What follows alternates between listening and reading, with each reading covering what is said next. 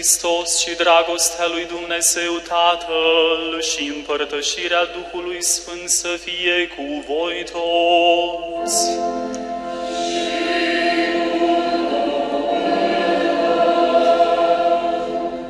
Rugăciunea mea să ajungă înaintea Ta, Doamne, pleacă-ți urechea la glasul cererii mele. Iubiți frați și surori în Hristos, ne-a adunat Dumnezeu din nou în această duminică în casa Lui pentru ca să contemplăm generozitatea sa divină. Iisus Hristos pune față în față în Evanghelie prefăcătoria celor săraci și modestia unei femei care aruncă în cutie ultimii ei bănuți. Suntem aici ca să ne cercetăm și noi generozitatea, dărnicia. Ne uităm în lăuntrul nostru, în conștiința noastră și recunoaștem cu sinceritate toate păcatele pe care le-am săvârșit cu gândul, cu fapta, cu voința sau doar în intenție. Mărturisesc.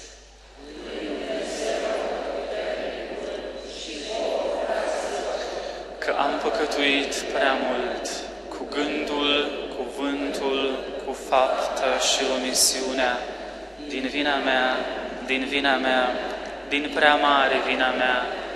De aceea o rog pe Sfânta Maria, pururea Fecioară, pe toți îngerii și sfinții și pe voi, fraților, ca să vă rugați pentru mine la Domnul Dumnezeul nostru să aibă milă de noi atotputernicul Dumnezeu și iertându-ne păcatele să ne ducă la viața cea veșnică.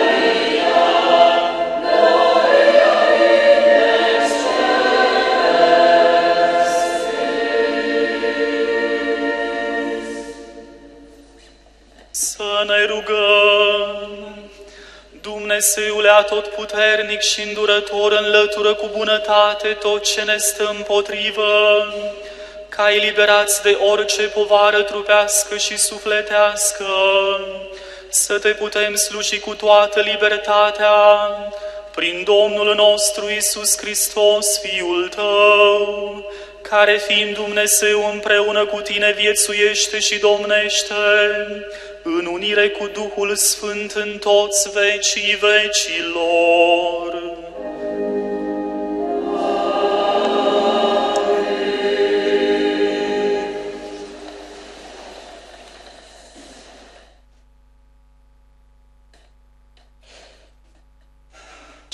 Din Cartea Întâia Regilor În zilele acelea, Ilie profetul s-a ridicat și a mers la Sarepta. Când a ajuns la poarta cetății, iată, acolo era o femeie văduvă care strângea lemne. El a strigat către ea și a zis, Adun te rog puțină apă într-un vas ca să beau. Ea a plecat ca să-i aducă, iar el a strigat către ea, Adun te rog și o bucată de pâine. Ea a răspuns, Viu este Domnul Dumnezeul tău, că nu am nimic copt, ci doar un punct de făină într-un vas și puțin ulei într-un urcior. Iată, strâng două vreascuri ca să merg să pregătesc pentru mine și pentru fiul meu. Vom mânca și apoi vom muri. Ilie i-a zis, nu te teme, mergi și fă după cuvântul tău. Dar fă pentru mine o turtă mică mai întâi și adu-mi-o. Apoi vei face pentru tine și pentru fiul tău. Căci așa vorbește Domnul Dumnezeul lui Israel. Vasul cu făină nu se va termina și urciorul cu un de lemn nu se va împuțina, până în ziua când Domnul va da ploaie peste fața pământului. Ea a mers și a făcut după cuvântul lui Ilie și au mâncat el, ea și casa ei mult timp. Vasul cu făină nu s-a terminat și urciorul cu un de lemn nu s-a împuținat, după cuvântul Domnului pe care l-a spus prin Ilie. Cuvântul Domnului.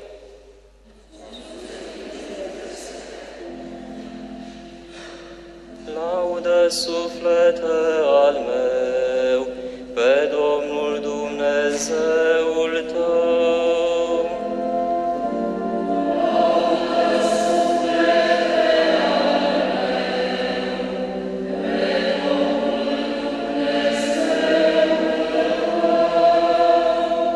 Domnul face judecată celor asupriți, El dă pâine celor flămânzi, Domnul îi eliberează pe cei închiși.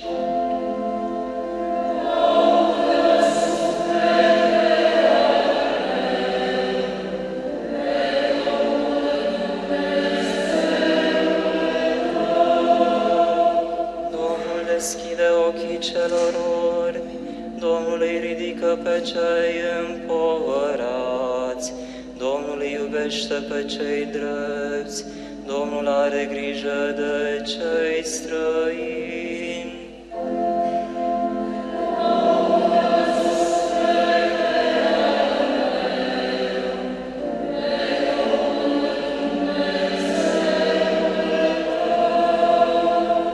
Sprijină pe văduvă și pe orfan, dar nimicește calea celor nelegiuiți. Domnul Dumnezeul tău, Sionule, domnește în veci din generație în generație.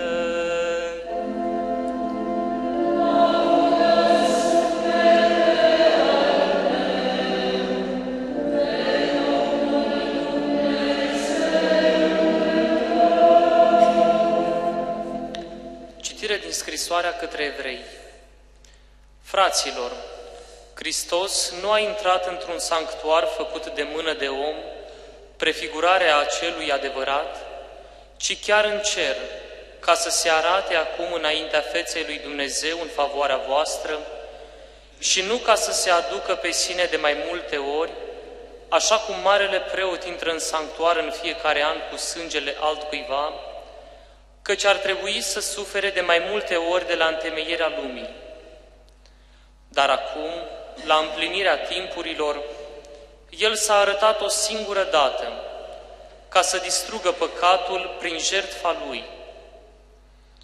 Și după cum oamenilor le este dat să moară o singură dată, iar după aceasta este judecata, tot la fel și Hristos, după ce s-a oferit odată ca să ia asupra sa păcatele celor mulți, se va arăta a doua oară, fără păcat, pentru a-i mântui pe cei care îl așteaptă.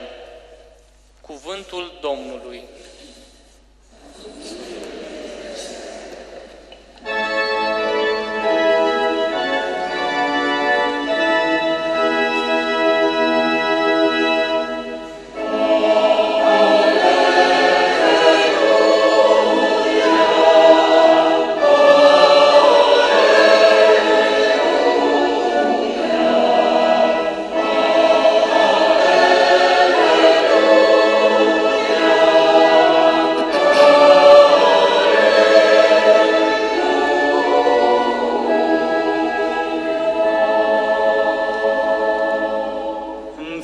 Fericiți cei săraci cu Duhul, pentru că a lor este împărăția cerurilor.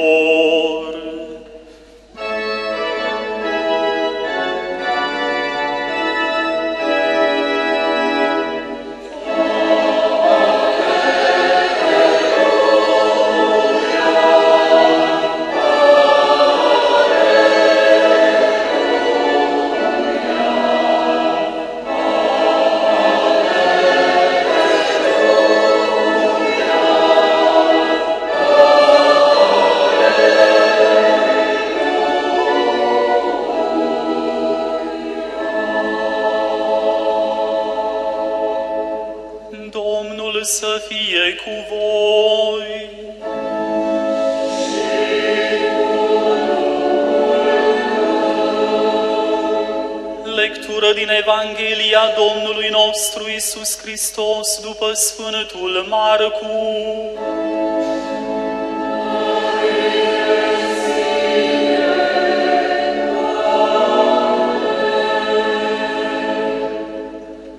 În acel timp, Iisus, în învățătura Lui, mai spunea mulțimilor, Feriți-vă de cărturarii cărora le place să umble în haine lungi și să fie salutați prin piețe, să ocupe primele locuri în sinagogi și locurile din tâi la ospețe.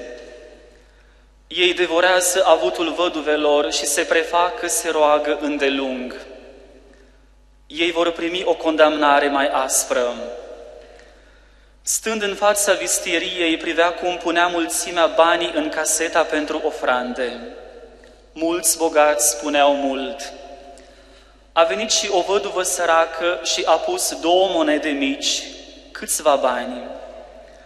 Atunci a chemat pe discipolii săi și le-a zis, Adevăr vă spun că văduva aceasta săracă a pus mai mult decât toți cei care pun în caseta pentru ofrande, pentru că toți au pus din surplusul lor, ea însă a pus din sărăcia ei totul, tot ce mai avea la viața ei. Cuvântul Domnului.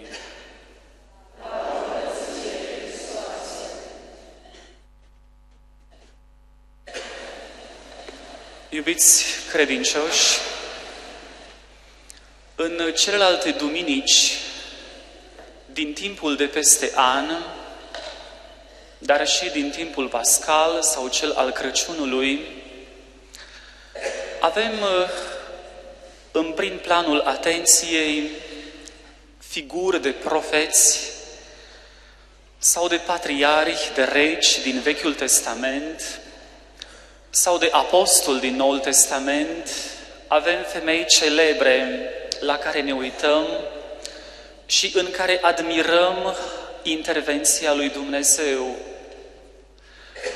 De data aceasta, în această duminică, în fața noastră stau două figuri feminine. Acestea sunt protagonistele. Aici avem actorii principali.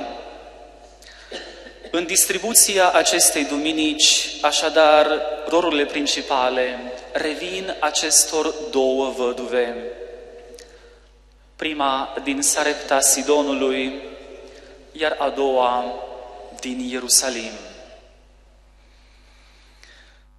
Celebritatea lor a ajuns să fie mare, am spune să fie mondială, dacă ne gândim că această Evanghelie și această lectură din Cartea Întâia Regilor e citită astăzi în toată Biserica Catolică, pe toate meridianele Pământului.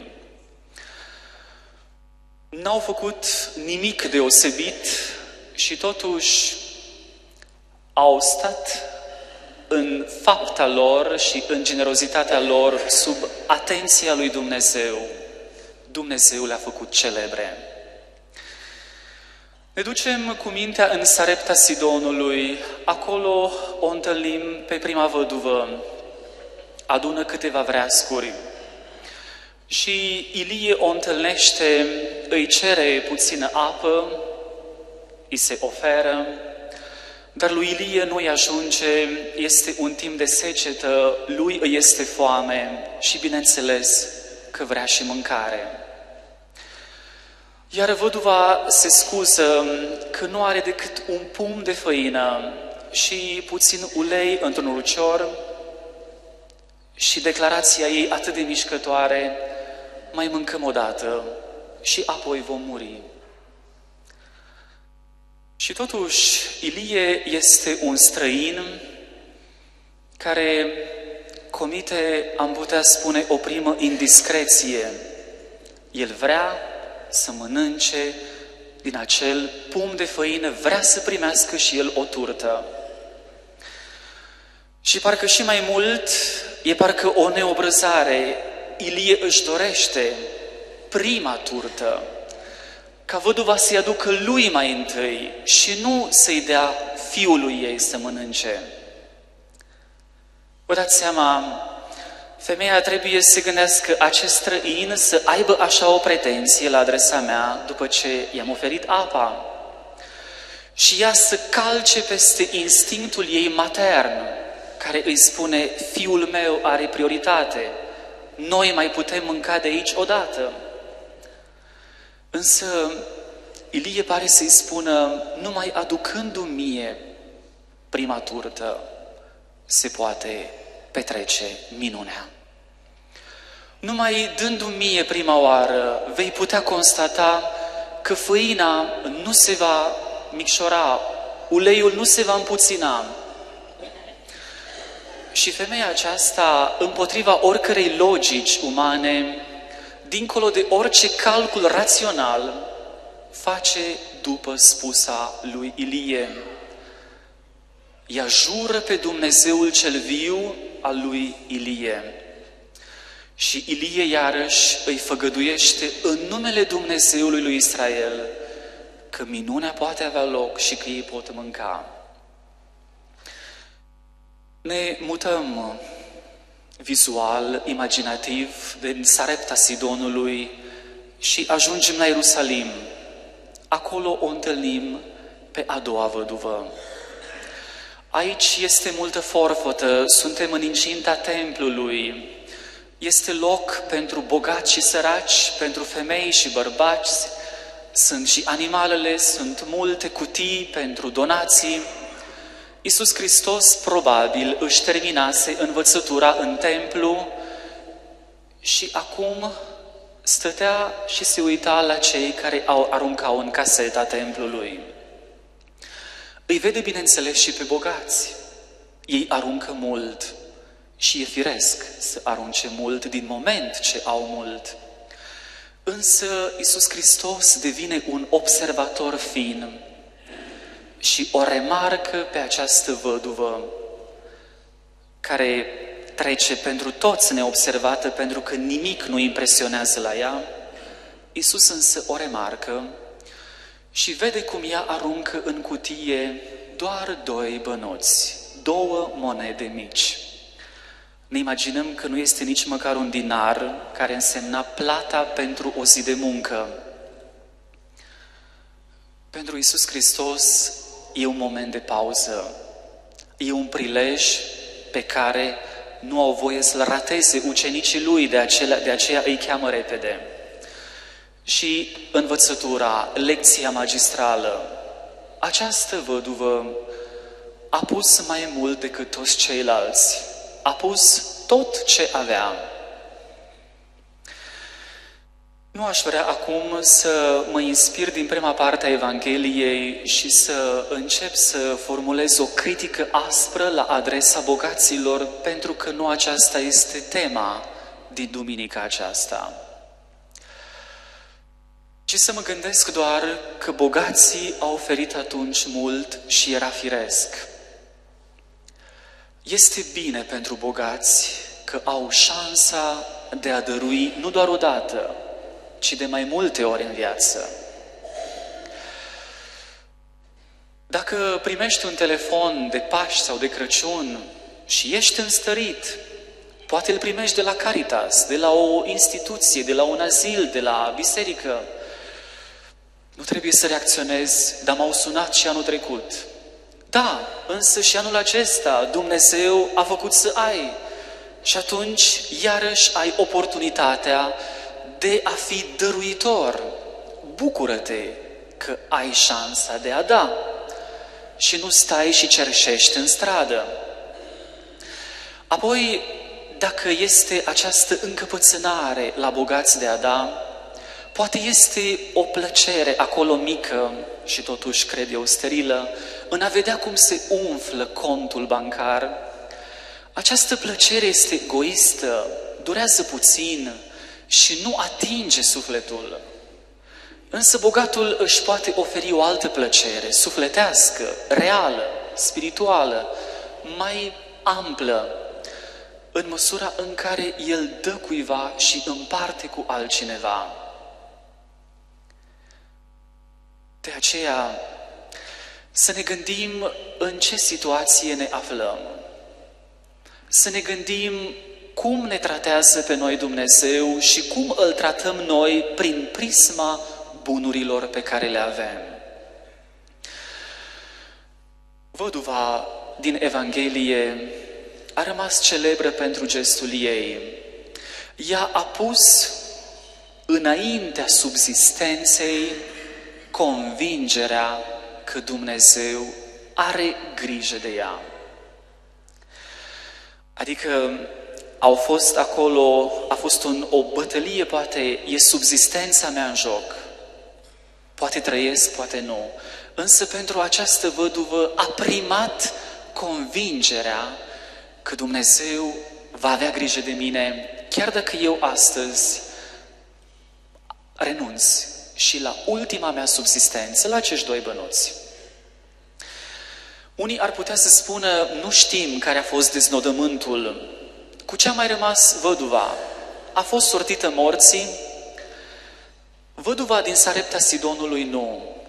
Și mie acest lucru îmi dă de înțeles, e un argument că Dumnezeu cu siguranță n-a lăsat-o pe această a doua văduvă așa la voia întâmplării să moară în foamete, complet neglijând-o cu viața ei și așa săracă și nenorocită.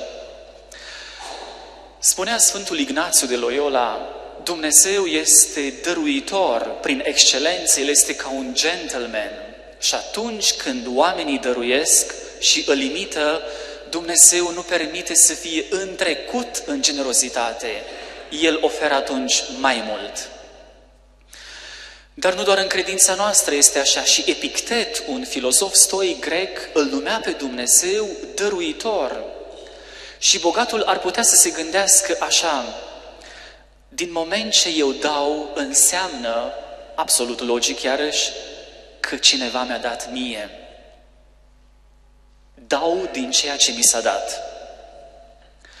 Și iarăși ar putea să fie pentru el o, un impuls, un imbold, un stimulent, stimulent în a fi dăruitor, faptul că, domnule, la sfârșitul vieții dacă te prinde clipa morții cu aceste conturi bancare, ce poate fi mai trist când tu, în loc să transformi toți acești bani în comori cerești, comori veșnice, ai lăsat să stea, să putrezească acolo.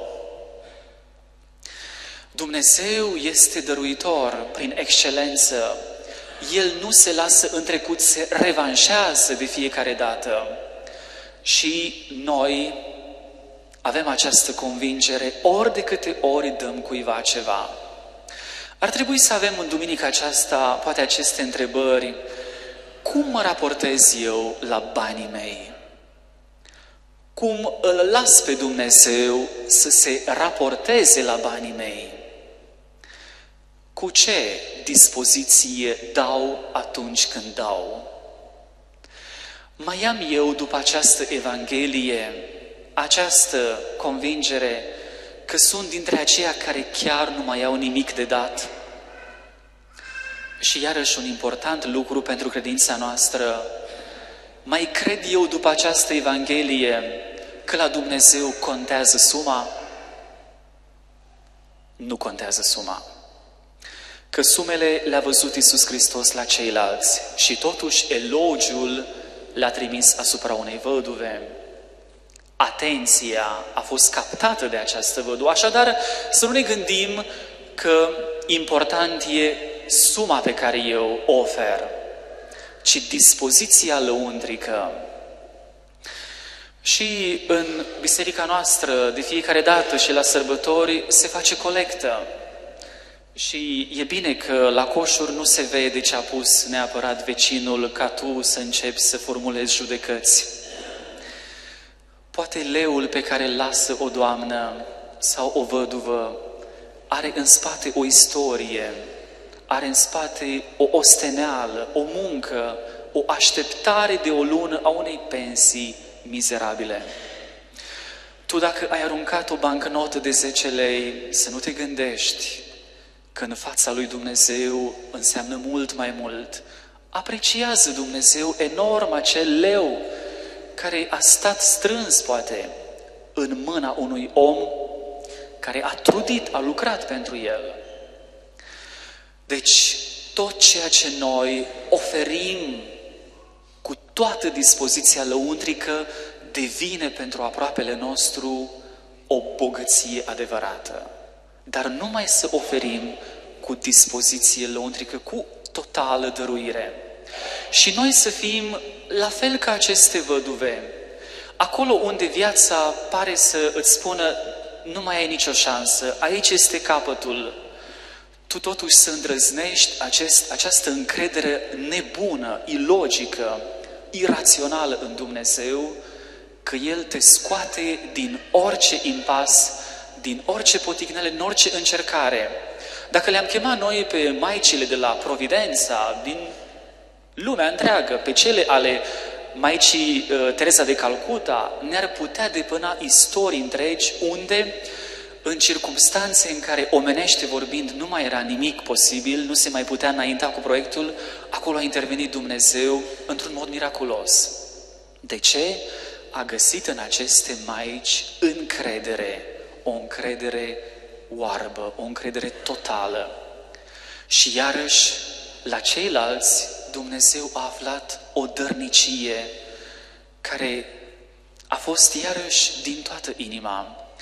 Să admirăm gestul acestor văduve și să ne gândim la cât de generos este Dumnezeu cu noi și să ne uităm așa în revistă, să vedem de câte ori Dumnezeu și-a arătat generozitatea să aducem mulțumire și să îndrăznim și noi să imităm aceste virtuți, aceste două, generozitate și încredere necondiționată în Dumnezeu. El face minuni și în viața noastră. Amin.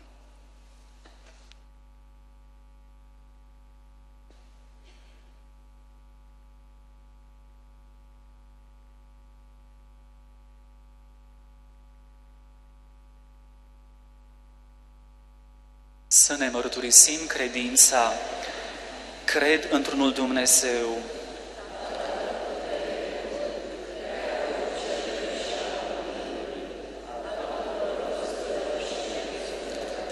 cred într-unul Domn, Iisus Hristos, Fiul lui Dumnezeu, unul născut, care din Tatăl s-a născut, mai înainte de toți vecii, Dumnezeu din Dumnezeu, lumină din lumină, Dumnezeu adevărat, din Dumnezeu adevărat, născut iar nu creat, de o ființă cu Tatăl, prin care toate s-au făcut, care pentru noi oamenii și pentru a noastră mântuire s-a coborât din ceruri, s-a întrupat de la Duhul Sfânt. Și s-a făcut om, s-a răstignit pentru noi sub Ponțiu Pilat, a pătimit și s-a îngropat, a înviat a treia zi după Scripturi și s-a suit la ceruri și a de dreaptă. Și iarăși va veni cu mărire să judece pe cei vii și pe cei morți, a cărui împărăție nu va avea sfârșit. Credem. Domnul și de viață dătătorul, care de la Tatăl și de la Fiul purcede, care împreună cu Tatăl și cu Fiul este adorat și preamărit și agreit prin proroci. Cred într-una sfântă, catolică și apostolică biserică, mărturisesc un botez spre iertarea păcatelor.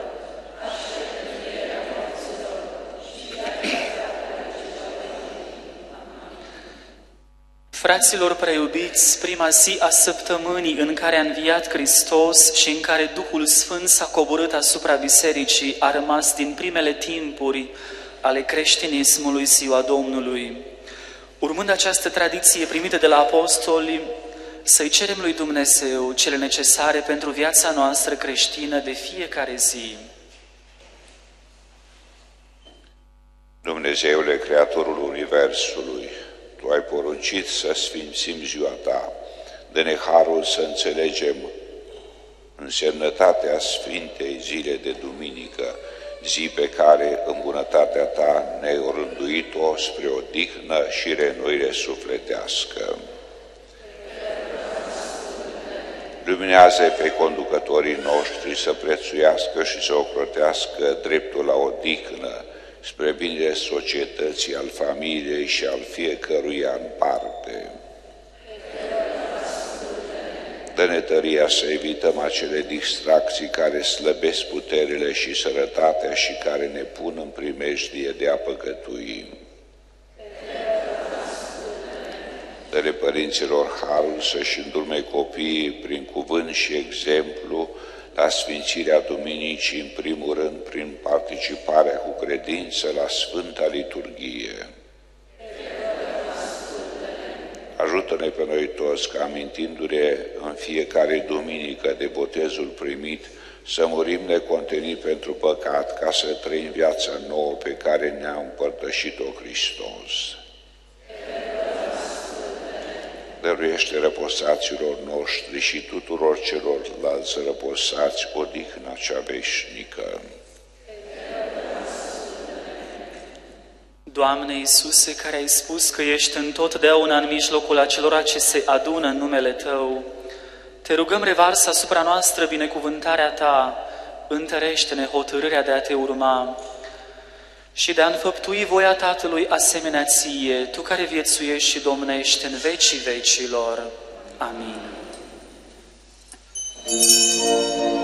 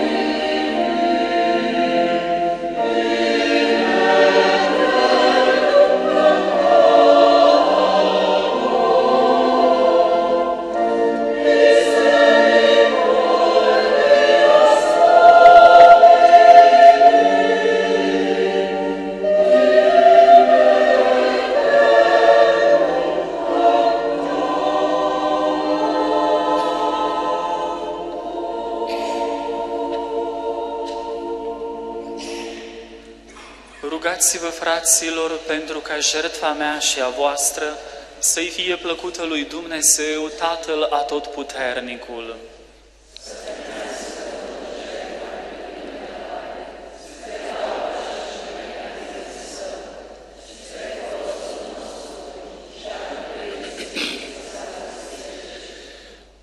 Caută, Doamne, cu îndurare la jertfa pe care ți oferim și dă-ne harul să luăm parte cu inimi pline de credință și de evlavie la pătimirea Fiului Tău pe care o celebrăm în chip tainic, prin Hristos Domnul nostru.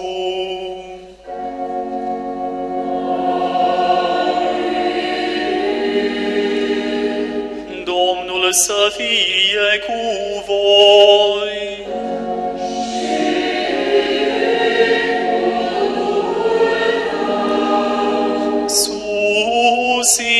Inimile. Să-i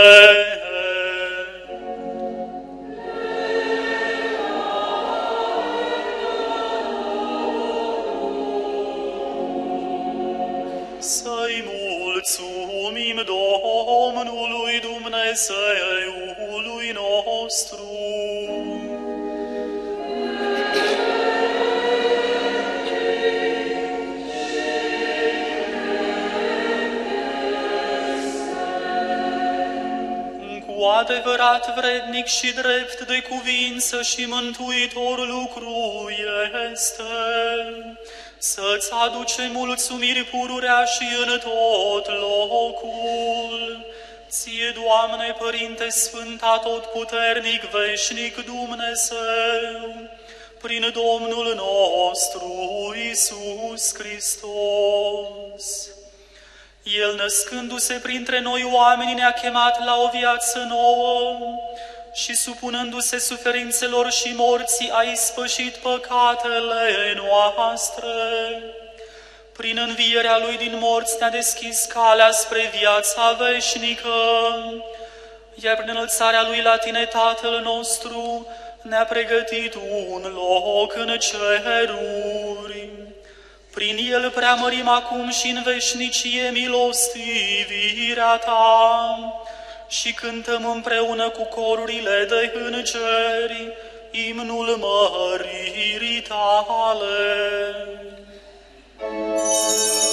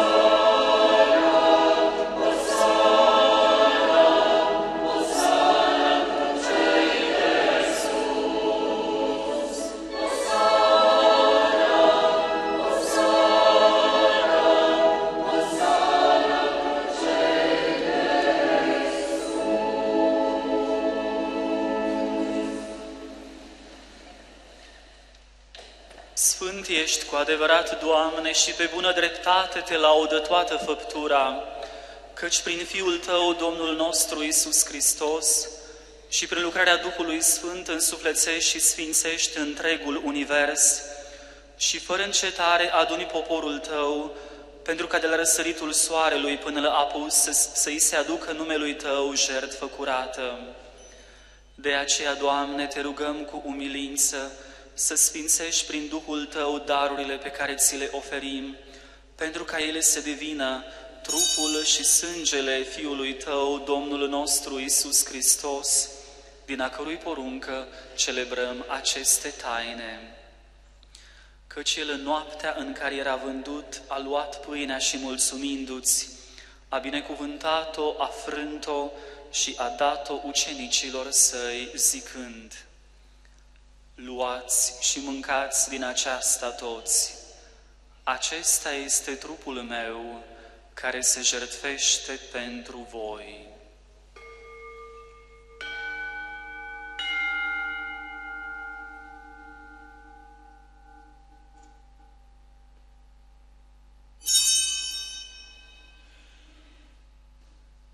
De asemenea, după cină, luând potirul și mulțumindu-ți, l-a binecuvântat și l-a dat ucenicilor săi, zicând, Luați și beți din acesta toți. Acesta este potirul sângelui meu, al noului și veșnicului legământ, care pentru voi și pentru mulți se varsă spre iertarea păcatelor. Faceți aceasta în amintirea mea.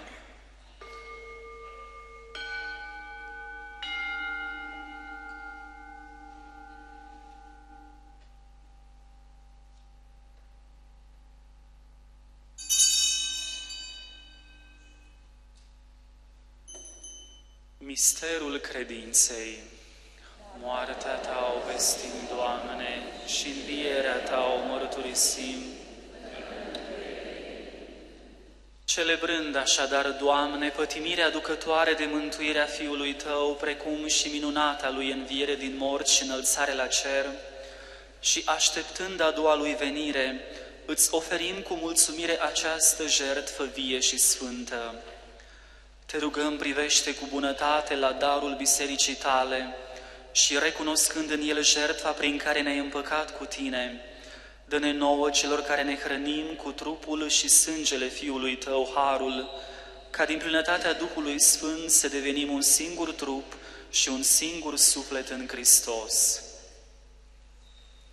Duhul Sfânt să facă din noi un prinos veșnic ca să dobândim moștenirea cerească împreună cu aleșii Tăi.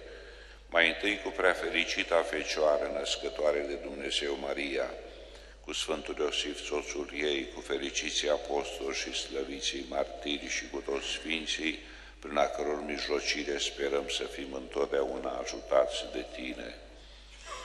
Te rugăm, Doamne, ca această jertfă a împăcării noastre să fie spre pacea și mântuirea lumii întregi. Binevoiește a întări în credință și dragoste Biserica Ta peregrină pe acest pământ, împreună cu slujitorii de Papa nostru Francisc și Episcopul nostru Petru, cu Episcopul Auxiliar Aurel, cu toți episcopii, cu întregul cler și cu tot poporul pe care ți l-a dobândit Fiul Tău. Ascultă, Doamne, cu îndurare rugăciunile acestei familii pe care ai adunat-o în fața Ta. Întoarce la Tine, Părinte milostiv, și pe toți fiii Tăi risipiți spre Tutindeni pe frații noștri răposați și pe toți drepții care au trecut din această lume, primește-i cu bunătate în împărăția ta cerească, unde ne dăjduim să ne bucurăm și noi de apurul de mărirea ta împreună cu ei, prin Hristos Domnul nostru, prin care tu dăruiești și lumii tot binele. Prin Hristos, cu Hristos și în Hristos, ție Dumnezeule, Tată atotputernic, în unire cu Duhul Sfânt, toată cinstea și mărirea, în toți vecii vecilor.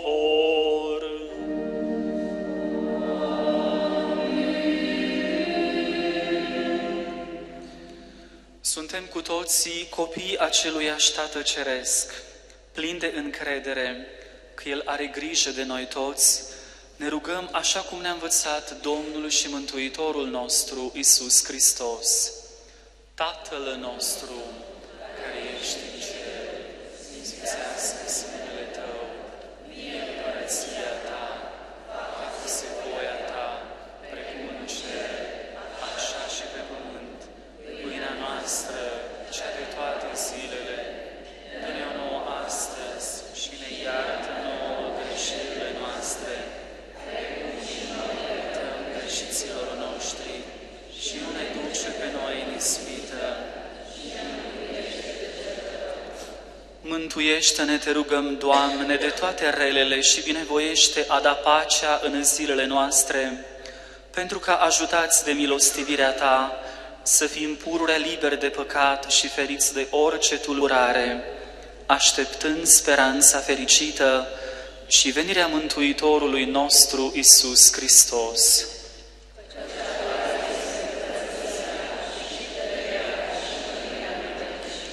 Doamne Iisuse Hristoase, care ai zis apostolilor tăi, pace vă las vouă, pacea mea o dau vouă. Nu privi la păcatele noastre, ci la credința bisericii tale și binevoiește ai dărui pacea și unirea după voința ta, care viețuiești și domnește în vecii vecilor.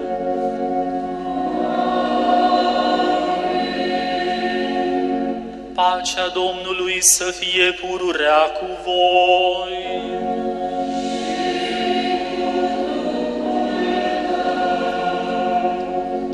Să ne dăruim unii altora pacea.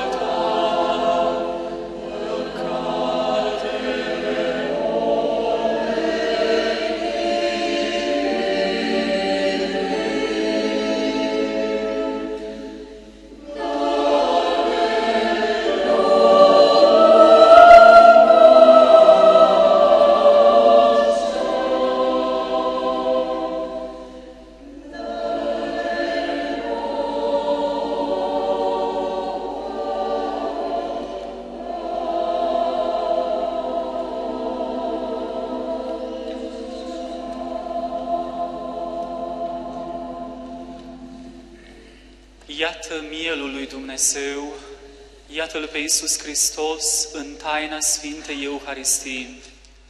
El a venit pe pământ să, să ia asupra sa păcatele lumii. Gustați și vedeți cât de bun este Domnul. Doamne, nu sunt vrednic să intri sub acoperământul meu, dar spune numai un cuvânt și se va tămădui sufletul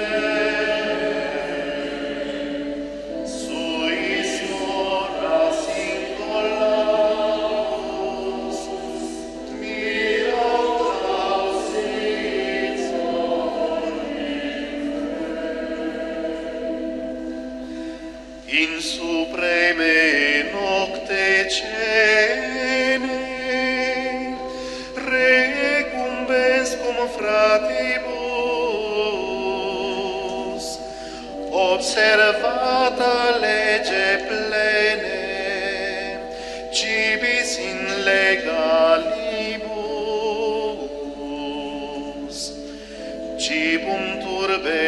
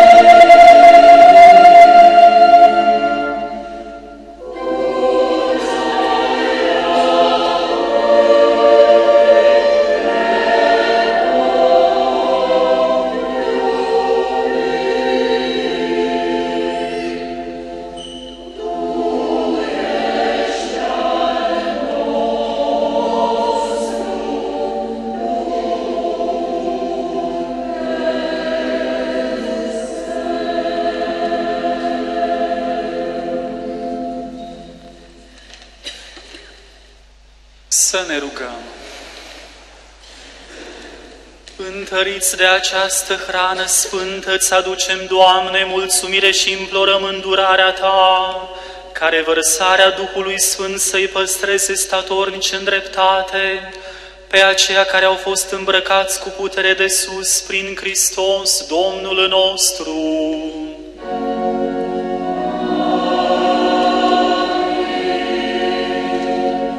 Îngerul Domnului a vestit Mariei. Bucură-te, Marie, cea plină de har, Domnul este cu tine, binecuvântată ești tu între femei și binecuvântat este rodul trupului tău, Isus.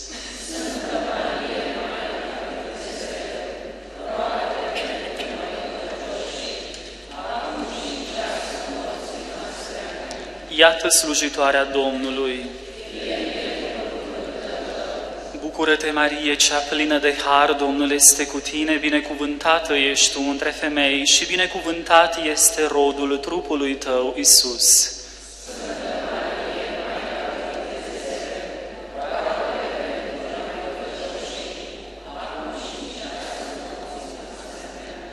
Și cuvântul s-a făcut trup. Bucură-te, Marie, cea plină de har, Domnul este cu tine, binecuvântată ești tu între femei și binecuvântat este rodul trupului tău, Isus.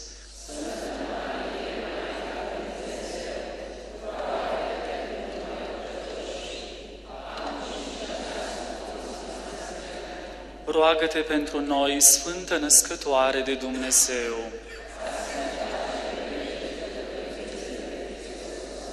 Să ne rugăm.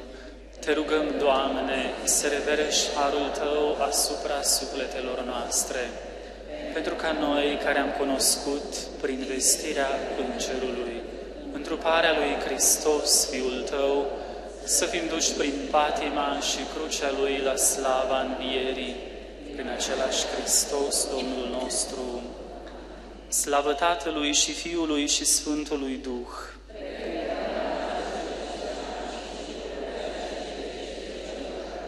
Slavă Tatălui și Fiului și Sfântului Duh!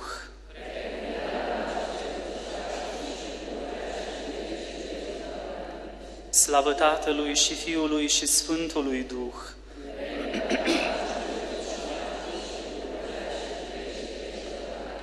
Îngerea lui Dumnezeu,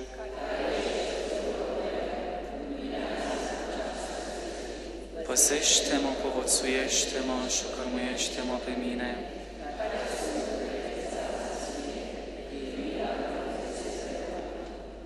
Câteva anunțuri.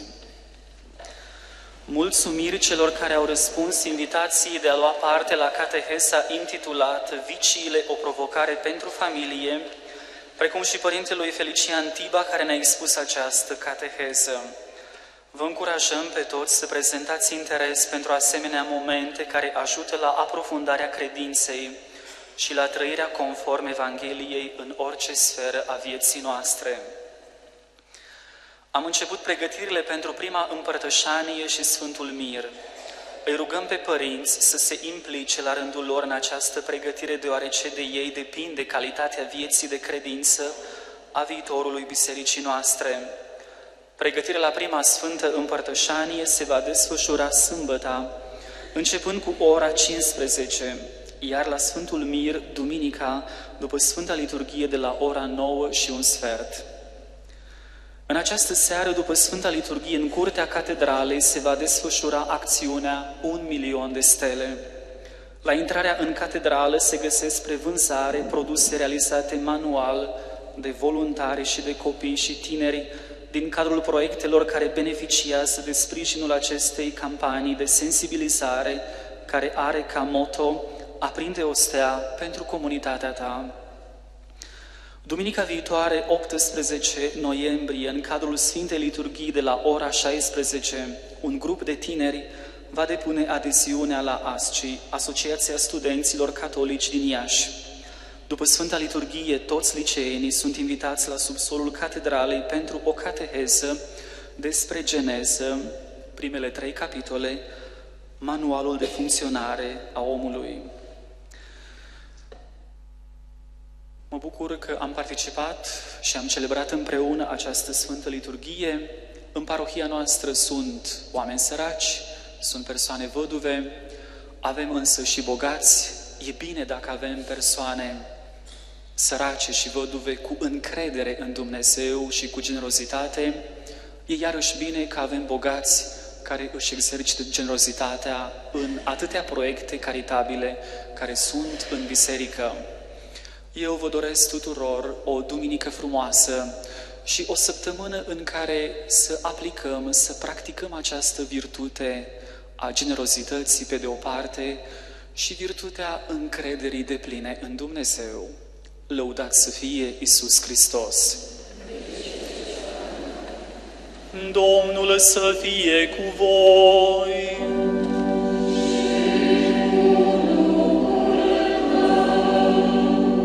Să vă binecuvânteze atotputernicul și milostivul Dumnezeu, Tatăl și Fiul și Sfântul Duh.